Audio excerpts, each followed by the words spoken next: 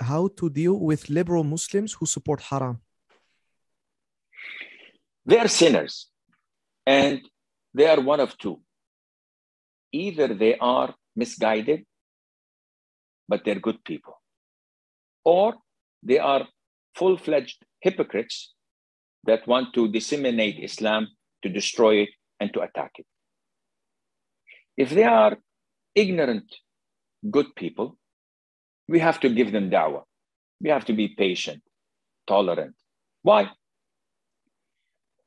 We have to teach them or we have to treat them like a doctor treating a patient.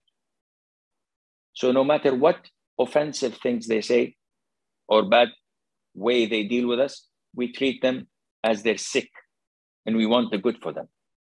Unlike the hip, full-fledged hypocrites, enemies of Islam, people who want to destroy and harm Islam and the Muslims.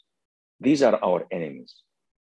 How to deal with them? Boycott them, ignore them like roaches, like flies.